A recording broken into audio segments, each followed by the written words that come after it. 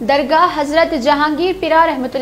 पर B R S कायदीन की हाजिरी और बी आर एस कायदीन ने तबरुकात भी अपने पार्टी कायद नायब सदनशीन plan commission B Vinod Kumar को हवाले किया है। इस मौके पर अलहाज मौलवी वहीद अहमद एडवोकेट सबक रुकन वक्फोट सबक सदनशीन अखिलती मालियती कॉरपोरेशन सैद अकबर हुसैन, सत्तार गुलशरी मोहम्मद अजमतुल्ला जाफ़र पटेल, मोहम्मद सलीम अहमद, मोहम्मद आसिफ और दीगर मौजूद रहे।